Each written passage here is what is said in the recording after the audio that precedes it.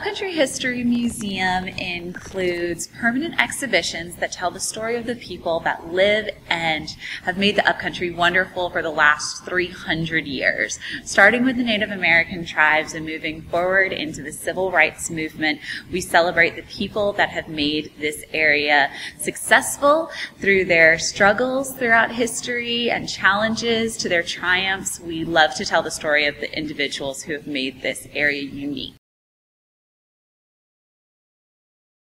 Some of our key exhibitions include the Upcountry Frontier, where we feature both the Native American tribes that populated the Upcountry, the Catawba and the Cherokee. We also feature the Scotch Irish immigrants who first populated this area from the European immigrant side.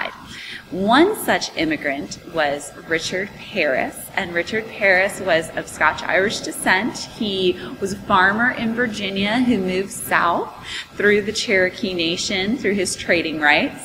Um, he was rather a seedy character and has lots of interesting parts to his past, but today's visitors are most likely to know him because Paris Mountain State Park is named after Richard Pearis. Other exhibitions that we have include our Crossroads exhibit, where I am seated right now. In our Crossroads exhibition, we feature Vardry McBee, who's known as the father of Greenville. He purchased the city of Greenville over 200 years ago, changing its name from Pleasantburg to Greenville. And he really made it into the place that we see today. Many of the streets that people drive on and the businesses that they drive by have their foundation back during that period of time with Vardry McBee. He set aside land for the first four churches in downtown Greenville helped to promote the building of schools for both men and women at that time. And most importantly, he brought the railroad through Greenville, which helped to connect this little upcountry village with the rest of the state and helped move Greenville into the future. Upstairs in our exhibition on the textile industry, we feature wonderful artifacts that help bring to light the history of the textile industry. The textile industry was key to Greenville being put on the map. By 1917, Greenville was known as the textile capital of the world for not only the production of fabric that came out of the upcountry, but also for the innovative technology that was being seen in many of the mills across Greenville County. The textile industry lasted well into the 20th and even the 21st century, helping to contribute to many other missions in our American history from World War I to the space race.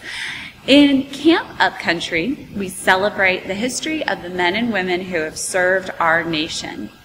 While our goal is to represent the events that took place here in our geographic footprint, the Camp Upcountry exhibition helps to tell the story of all of the men and women who were trained at infantry training camps across the upcountry. From the Spanish American War to World War I into World War II, many infantry soldiers from across the East Coast were trained right here in the upcountry of South Carolina before being sent far and wide to serve our nation.